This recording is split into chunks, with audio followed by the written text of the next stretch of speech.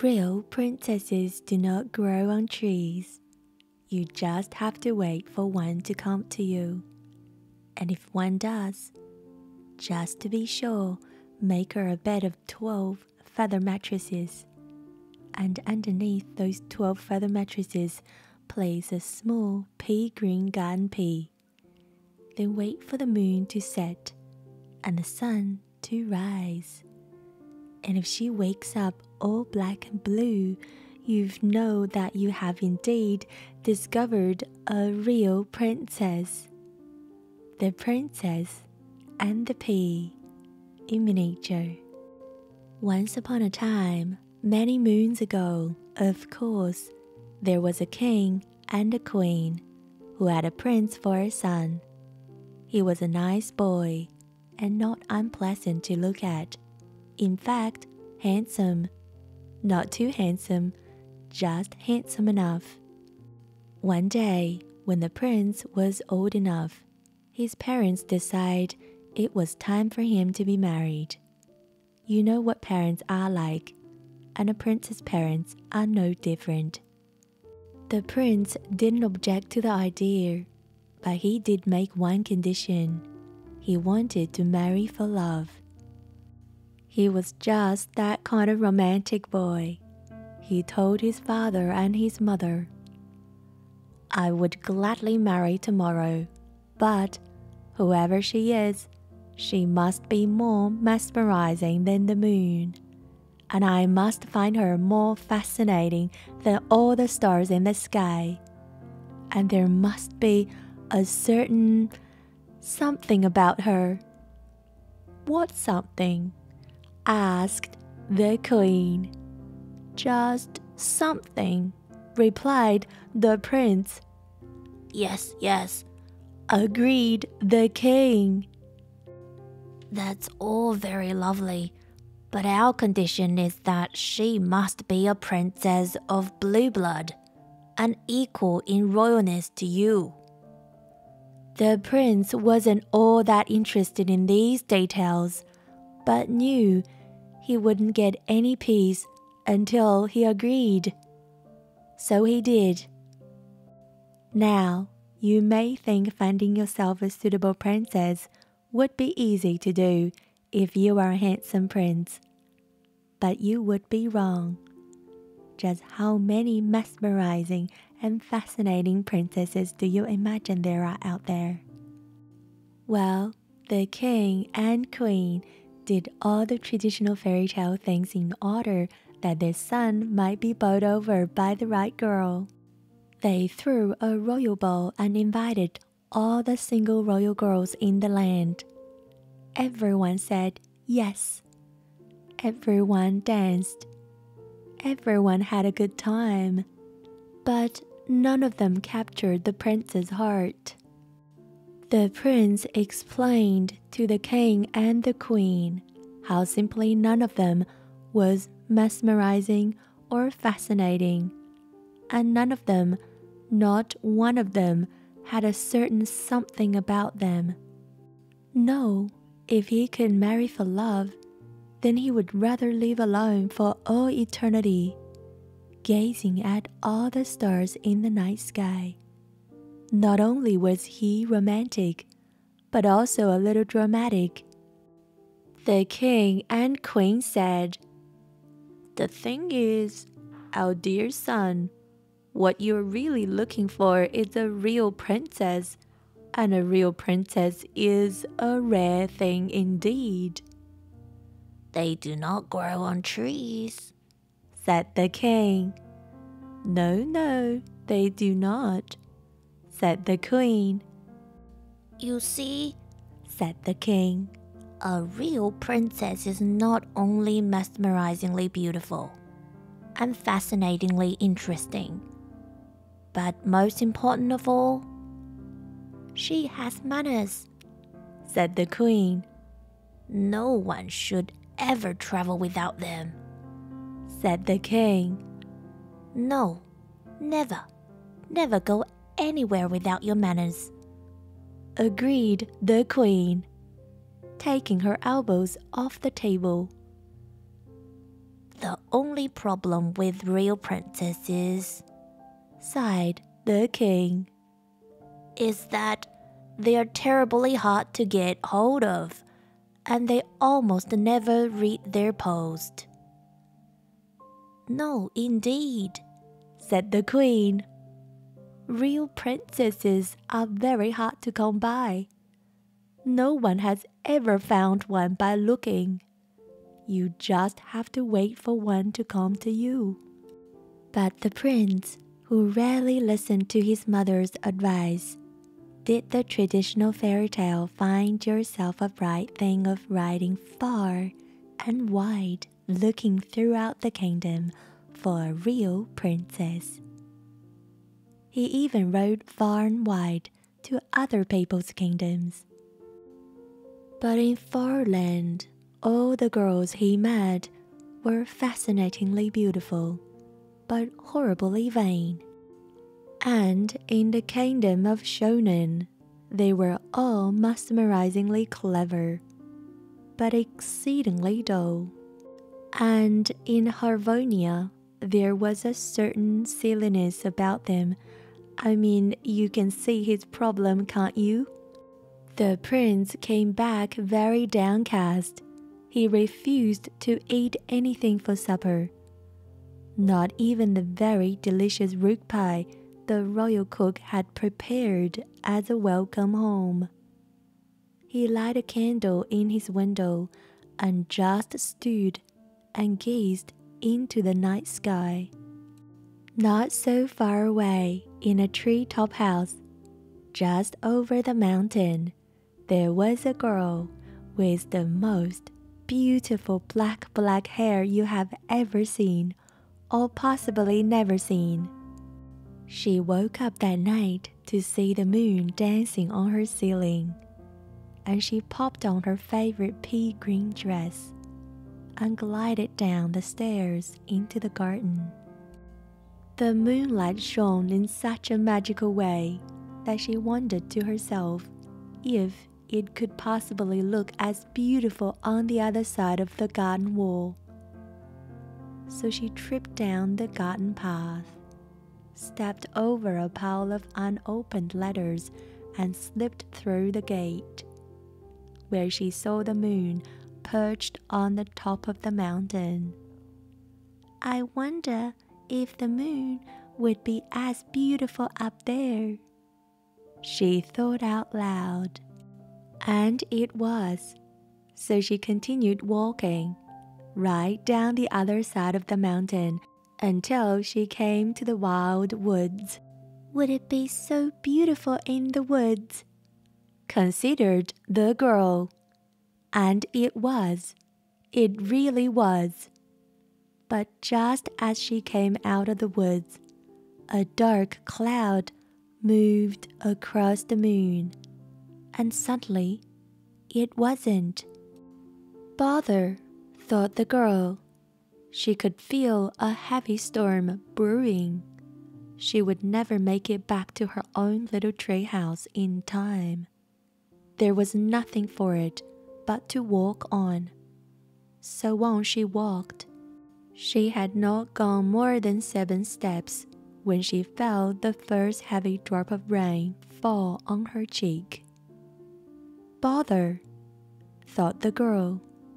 Within three minutes, she was already soaked to skin, and her two shoes were filled with water. The wind was howling the trees were creaking and cracking as if they might part company with their roots. And the rain pounded down, and the lightning flashed its forked tail in the darkened sky. And the girl began to tire. It was not umbrella weather. No, an umbrella would have done you no good at all. Hmm, I think I might just catch a terrible cold, unless I have the very good fortune to spot a light in the window. But what is the likelihood of that on a wild, wild night in the middle of nowhere? said the girl out loud. However, as she made her way round the next corner, that's exactly what she saw.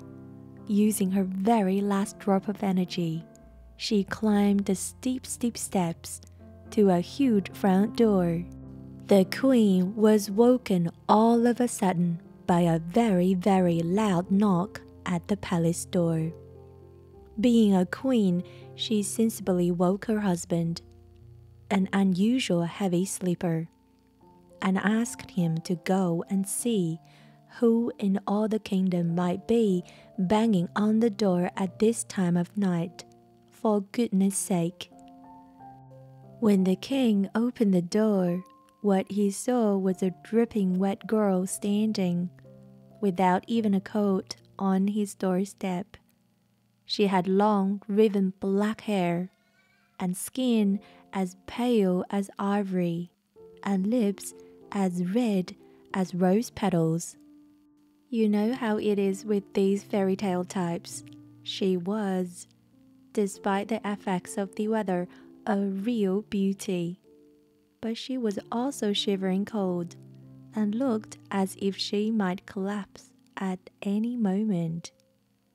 Of course, the king was very polite. He had manners. That's the thing about real kings. Their manners are impeccable. He didn't even mention the large puddle that was formed on his very expensive royal floor.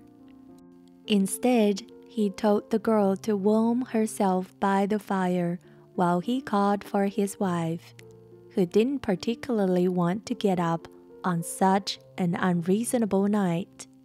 But being a real queen never ever forgot to be hospitable to strangers. The queen thought this girl looked special.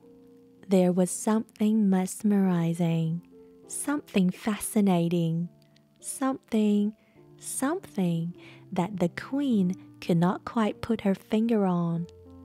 Unlike her husband, she came straight to the point. So, my dear, who are you on such a wild and unruly night? Oh, I am a princess and I live in a tree house on the other side of the mountain. A tree house? pondered the king. A princess? inquired the queen. What kind of princess? Oh, I, replied the girl. I am a real princess. I was outside admiring the moon when it started to rain. And then, what with the thunder and lightning, well, then I lost my way, and then I saw a light in your window. I do hope you can forgive my waking you at such an hour. The queen thought, well, she sounds like a real princess. She looks like a real princess. But we'll see. So, after the girl had finished her outer flower quadrille, the queen ordered a steam hot bath and supplied her with the softest towels and an exquisite nightgown. Oh, this is far too good for me, said the girl, which, of course, is exactly the kind of thing a real princess would say. While the girl was taking her bath, the queen had the servants make up the bed in a most unusual fashion. She chose the most fabulous bedchamber with the most beautiful four poster bed. Then, right in the middle of the bed, she placed a tiny, tiny pea green pea from the royal garden. Then, on the top of the pea, she piled one, two, three, four, five, six, seven, eight, nine, ten, eleven, twelve feather mattresses and on top of the 12 mattresses, she placed the finest linen sheets and the plumpest Sarabian goose down pillows. What a beautiful bed, gasped the girl. Oh, I am sure I will sleep like a real princess in this bed. And up the ladder she climbed. We'll see, thought the queen. But that night, the poor girl hardly slept a wink. She was tossing and turning all night. Despite her exhaustion, she could not make herself comfortable. Worse still, the next morning she found herself black and blue and rather achy. At daybreak, the queen knocked on the door with a cup of tea. How did you sleep, my dear? I trust comfortably. Not wanting to be rude, the girl replied, Oh, very well, yes, perfectly. Thank you so much for asking. Aha, thought the queen. I knew she couldn't really be a real, real princess. But what the queen was forgetting was that any real princess has such impeccable manners that it would be impossible for her to tell her host, who had gone to all the effort of making her a bed stacked with 12 feather mattresses, that, in fact, it was the most uncomfortable night that she had ever had in all her life. The queen, though most disappointed, invited her young guest to have breakfast down in the royal dining room. When the prince saw the girl, his eyes light up. He thought she was more mesmerizing than the moon. And when she spoke, he found her more fascinating than the stars. And there was a certain something about her that caused him to let go of his teacup, which clattered to the floor. The princess couldn't help thinking there was something romantic, something dramatic, something strangely charming about his clumsiness, and she bent down to pick up the cup. A real princess will always pick up your teacup if you drop it. Kindness is particularly their middle name. But this was not the only reason she did so.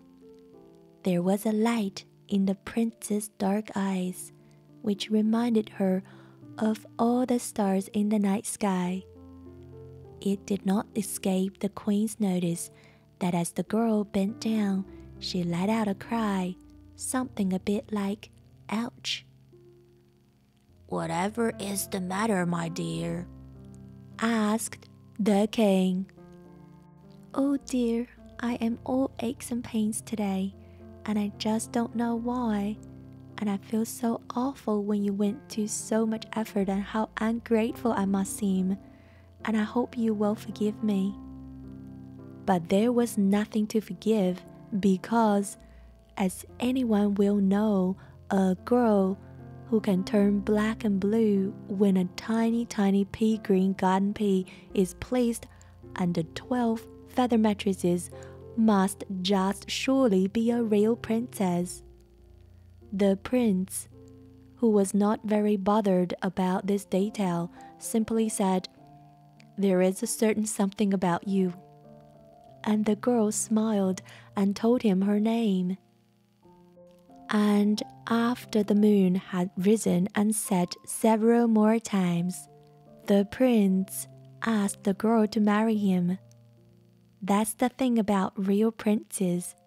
They know all the right questions to ask.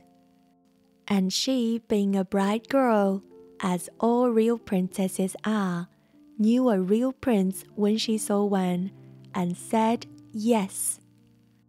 And they were married in a very real fashion outside in a garden where the sky twinkled with stars and the moon shone down and everyone had a splendid time.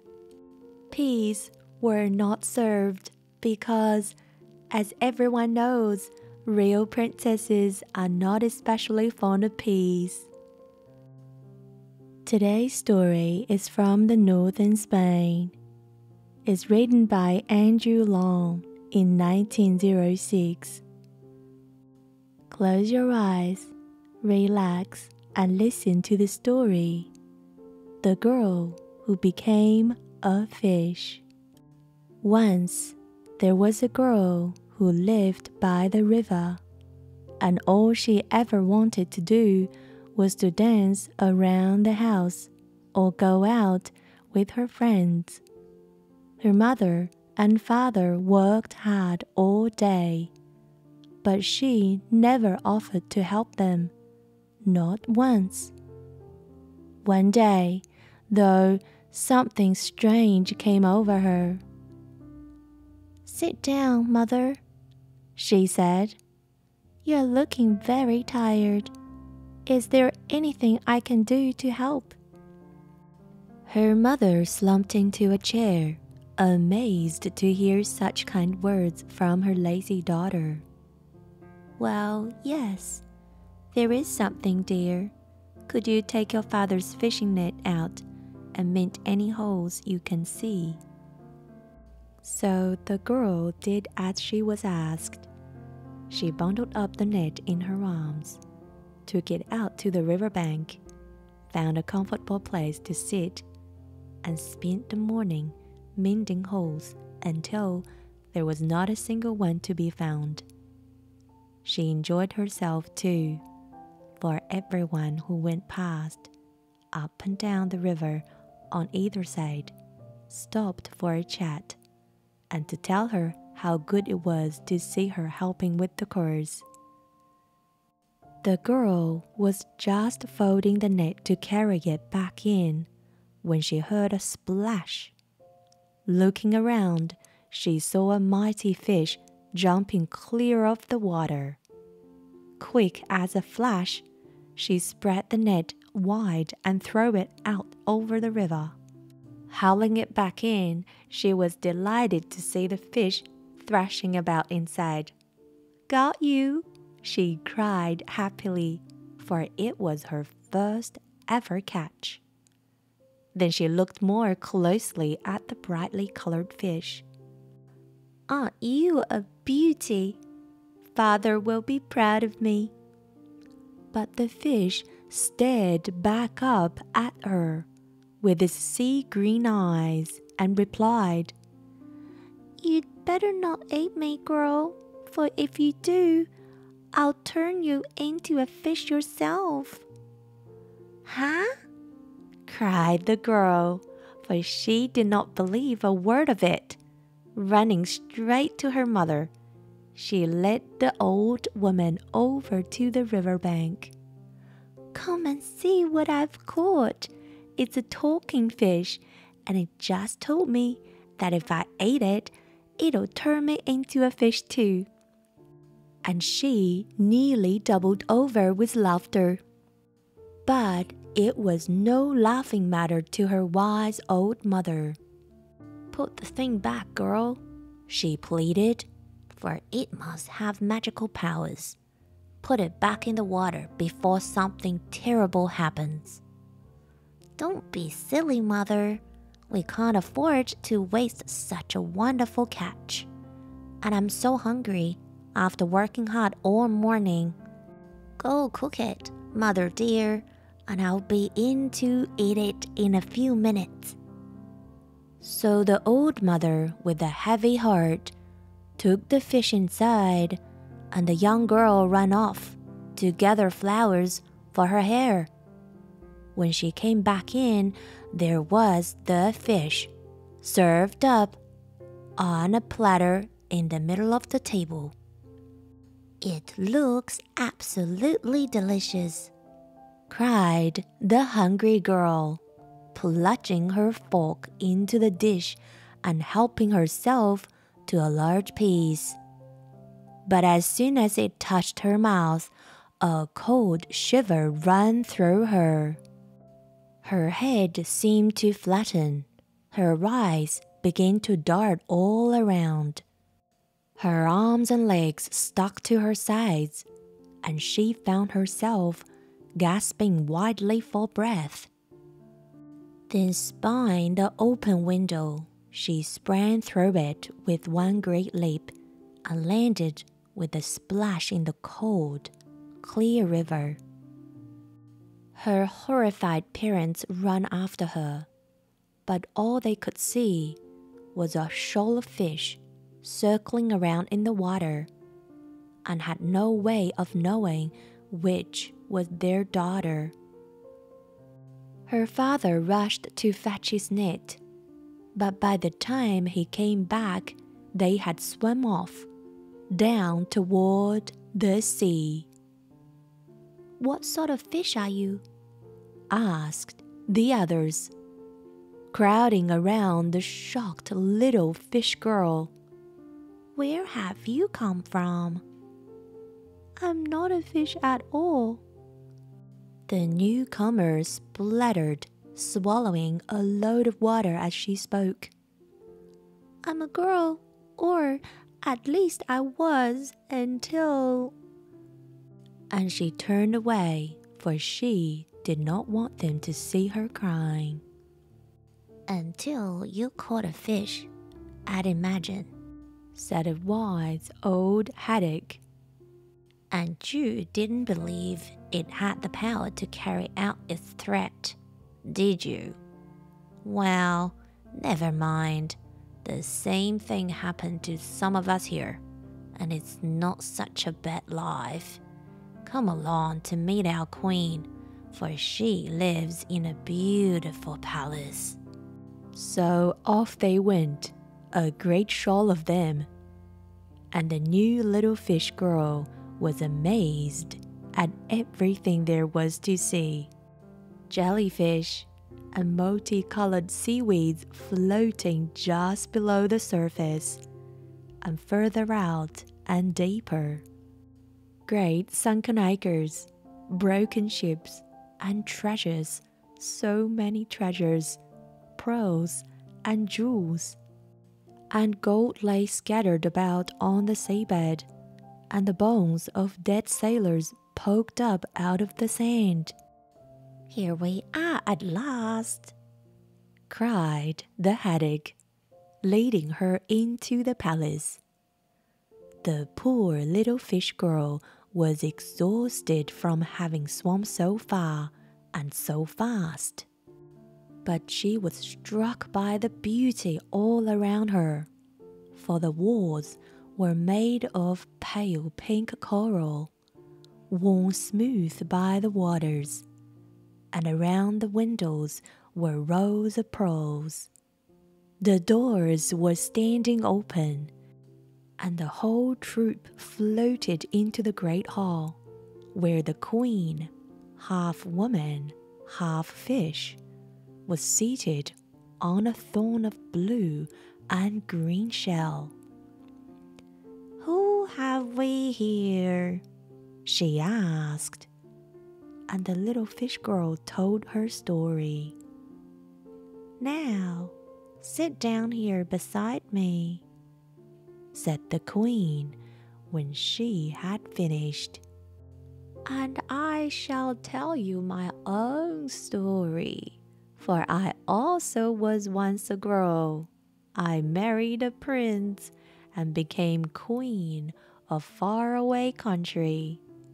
But a year later, when I was out in the garden with my baby son, a giant appeared and stole my crown. He told me he would give it to his daughter and enchant my husband so that he would think she was his wife, not me. I was so upset when I heard this that I threw myself into the sea and my ladies in waiting who loved me followed me in. And here I must remain until someone brings me back my crown. I will fetch it for you, cried the little fish girl, for she was desperate to get back on dry land, whatever the cost. Do you think you could? The queen studied her face. First, you must find the giant's castle on the top of a high mountain for I've heard that his daughter has since dead, and the giant has the crown once more. I'll try, said the brave little fish girl. Good luck then, but you must be careful, for if the foul and horrible giant sees you, he will surely kill you. All I can give you to help you in your quest is the power to change into any animals you wish. Just strike your forehead and call out its name. The next morning, the fish girl swam to shore, and when she got there, she struck her forehead with her tail. I want to be a deer, she cried, and that moment she became a beautiful, proud beast with branching horns and slender legs, throwing back her head and sniffing the air. She broke into a run, leaping easily over the rivers, walls, and hedges that stood in her way. Now the king's son was out hunting, and he spotted the deer. He raced after her on his swift footed horse, and soon caught up. Please do not kill me, the deer cried, pleading with her eyes, for I have far to run and much to do. The prince was amazed to hear a deer speak, and captivated by the beauty in her eyes. This must surely be an enchanted maiden. He muttered to himself as she raced free. I will marry her and no other. But the deer had gone, and, try as he might, he could not find her.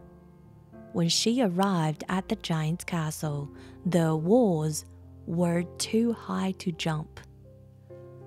I will be an ant, she cried, and there and then she became a tiny insect, scuttling up the wall. Soon she was over the top and down in the courtyard, where she spied a tall tree reaching up a high window. And now I'll be a monkey, she whispered, and in a second, a loose limbed little monkey was swinging up through the branches and into the room where the giant lay snoring. Then, a parrot, she cried, and flying onto the giant's shoulder, she squawked in his ear. The crown is no longer yours, big fellow, now that your daughter is dead. What? growled the giant, reaching out to grab the insolent bird. Spare me, the parrot squawked. Please, spare me. Why should I? The giant tightened his grip. Why should I take pity on a puny little pirate who sneaks into my room, wakes me up by screeching into my ear, and tells me I have to give up my crown? But then a thought slowly began to seep into his tiny brain, and he put down the frightened bird in order to scratch his head. Not unless you can bring me the thing I've always wanted a collar of blue stones from the Arch of St. Martin in the great city.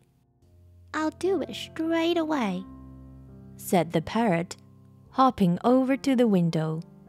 She had no idea how she would manage it, but she was not going to tell the ugly great giant that. I want to be an eagle, she cried, and quick as a flash, she became one soaring high above the clouds. Soon she was flying over the great city, spotting the famous arch, all set with beautiful stones. She swooped down and began to dig them out with her beak. It was hard work and painful, but eventually she had pried out enough to make a collar for the giant. Stringing them onto a piece of string she had found hanging in the tree, she dangled it around her neck. Now I want to be a parrot again. And when she arrived back at the giant's castle, she flew up into his room and perched on his shoulder. Back already? growled the big fellow. Then he noticed the collar of stones and, grabbing it, delighted, hang it around his bulgy neck.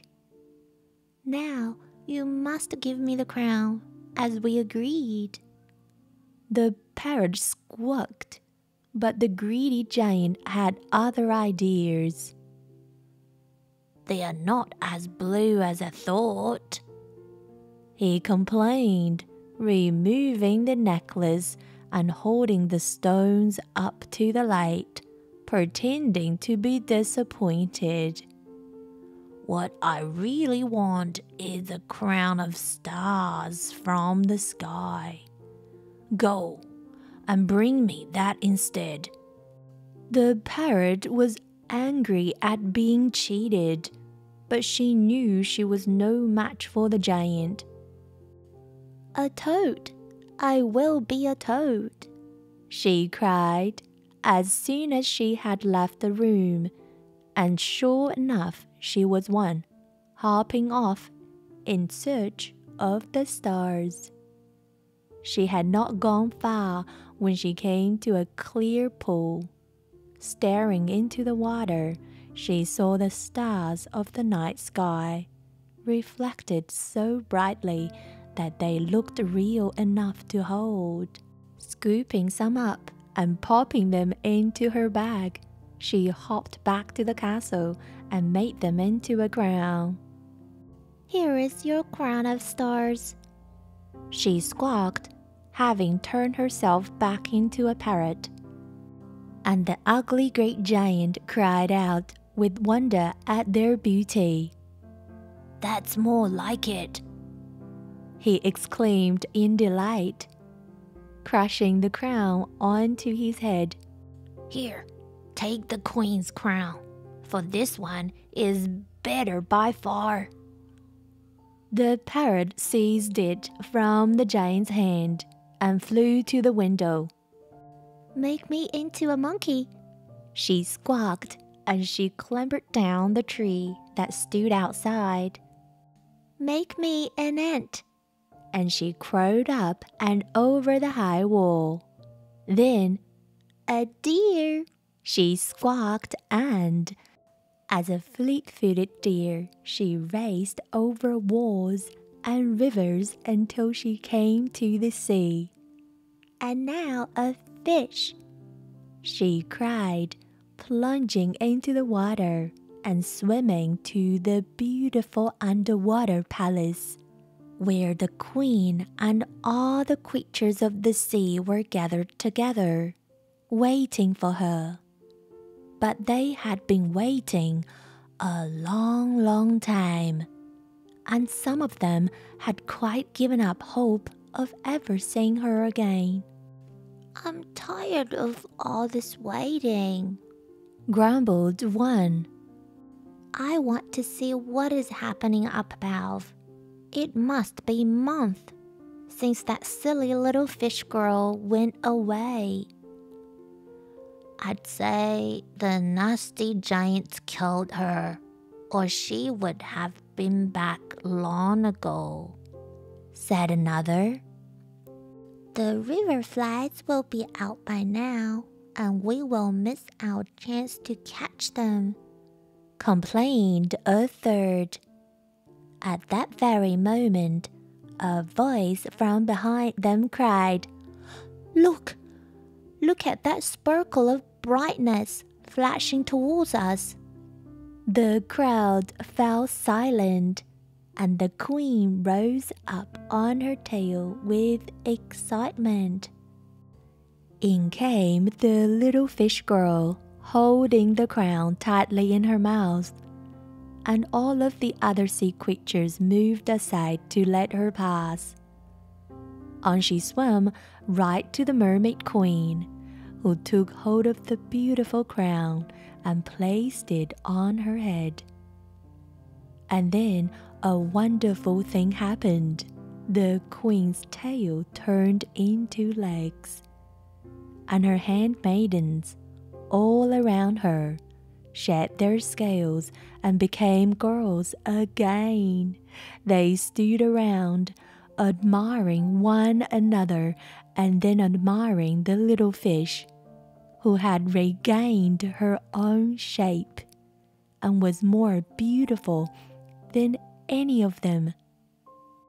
You have given us back our life, they cried, crowding around her and weeping from joy. They soon said farewell to the creatures of the sea and returned to land. The queen was thrilled to see her husband again, and particularly pleased to see her son, for she had left when he was only a baby in arms.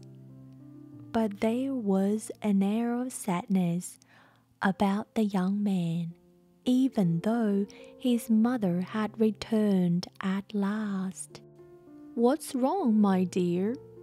She asked him as they walked together in the garden. If I can give you happiness, it will be yours. No one can, said the prince sadly, for I have fallen in love with someone I can never marry and I must carry my sadness alone. And he told her about the deer in the forest and how he had fallen head over heels in love with her as soon as he looked into her eyes. Ah, said the queen with a smile, I think I know how to help you. For she knew right away that it was the fisherman's daughter that her son had encountered. She called for the girl, who had not yet returned home to her parents. And when the prince saw her, he was struck dumb by the beauty of her. The young woman came closer, and her eyes were those of the deer in the forest. Please do not kill me, she whispered in the prince's ear, for I have far to run and much to do. The very words you used when we met in the forest. I have found you at last, my love. The young man took her in his arms, and their hearts were filled with joy. And the queen, his mother, watched them and smiled. The queen and king, the prince and the fish girl princess have lived happily ever after. Thank you for listening, boys and girls. This is from Your Story Fairies. Have a good night. Sweet dreams.